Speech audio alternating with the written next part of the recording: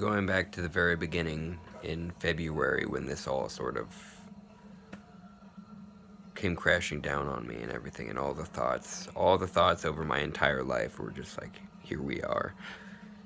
So I think, I really do think I'm going to wind up, I mean, the first thing, I do want to do hormone replacement therapy. I do want to start taking the uh, estradiol or whatever in the, um, spirolactone, or however you say them, testosterone blockers and um, estrogen, basically.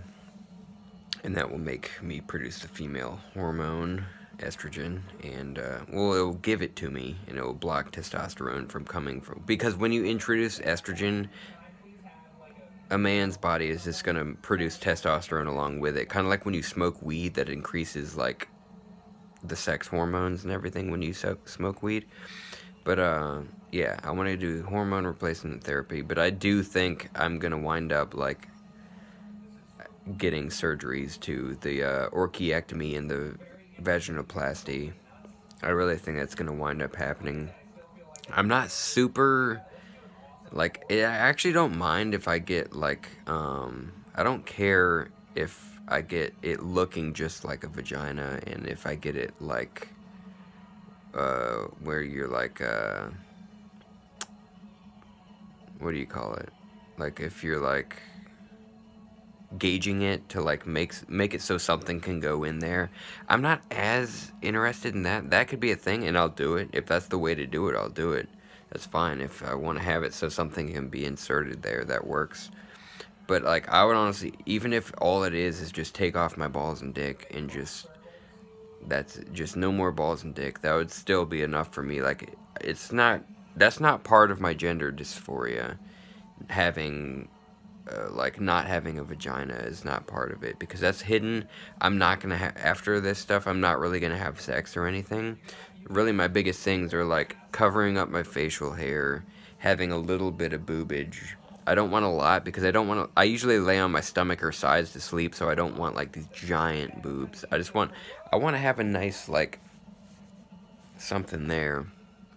But yeah, I do, the more I think about it, I do think I'm going to wind up getting the orchiectomies. Well, I've already had one orchiectomy because I got torsion and I lost my left testicle.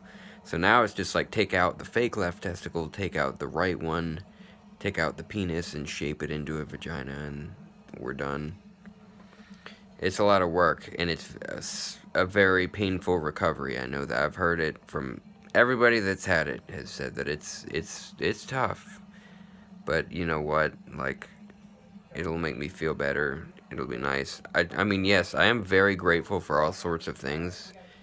I'm grateful for the life I have. I'm grateful for all that I have, but you know what? Why not just do everything we can in our power to just feel okay, just to feel alright, you know?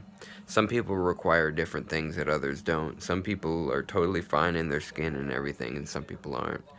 I do think I'm going to end up doing these surgeries, and I'm definitely doing the hormone replacement therapy. It's just money, though.